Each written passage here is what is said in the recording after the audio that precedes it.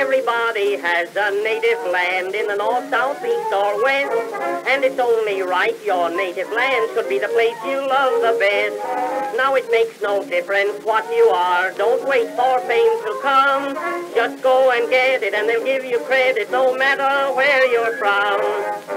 It's not your nationality, it's what you do. It's not your personality that always pulls you through. Bismarck made his mark in Germany, we know. And Georgie Cohan was a Yankee in the growing, but he made a bunch of dough. Just think of Rockefeller and what he can buy. He started from the cellar, but he climbed away up high. So if you've got the spirit, never mind your name. Folks will hear it if you play the game. It's not your nationality, it's simply you.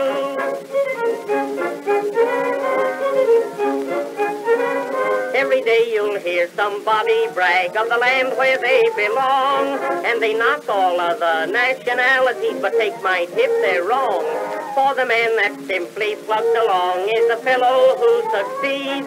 This whole creation is a great big nation. They judge you by your deeds.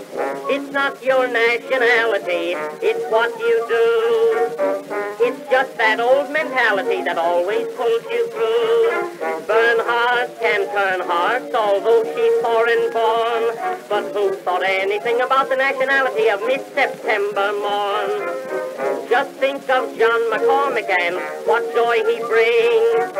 There's lots besides the Irish go to hear him when he sings. And though you may be Jewish, figure how it goes. Only horses win out by a nose.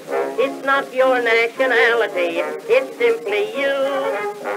It's not your nationality, it's what you do. Sometimes a technicality will bring fame to you. Bryan kept trying, gave up hope. And young Marconi had a scheme that sounded phony, but he upset all the dope.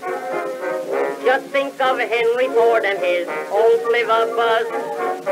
We laugh, but all the dough he's got he took away from us. So never mind your breeding, keep a level head. Face the world, prepared to knock 'em dead. It's not your nationality, it's simply you.